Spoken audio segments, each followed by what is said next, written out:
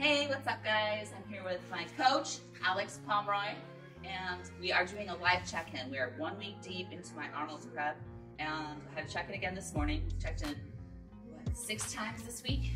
Nine. Nine, nine times this week. So a lot of attention, a lot of attention to detail, and something that was really great. My carbs went up on training days today, so I'm really happy.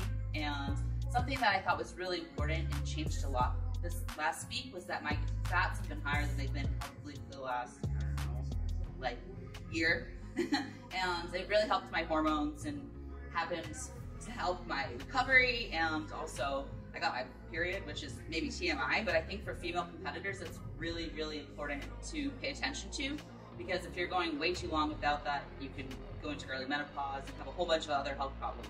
So that was really important. And right now I'm about to do a live posing check-in. So it's cold in Florida, that's why I have my coat on, so. yeah, so I just want to talk about like the first week of working together. We've trained together every day she's trained in person.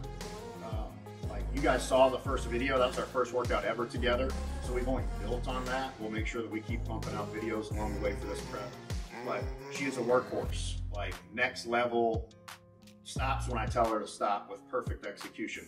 So when you have an athlete that trains like an athlete, it's very important to have the nutrition to, to walk hand in hand with that. So, you know, a lot of times we do pull our fats down pretty low going into a show being a bodybuilder, but she's eight weeks out right now. And like she just said, we saw hormone regulation, or at least the start of it, in the first week.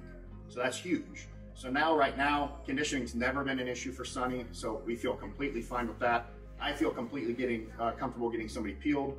So we're gonna focus on keeping her full, and we're trying to improve. We're not making huge improvements because she's already one of the best in the world, but we're trying to fine tune this well-oiled machine. So that's what we're gonna focus on, keeping the food a little bit higher on training days for the next few weeks. In the last few weeks, we're gonna really push her conditioning and bring something special.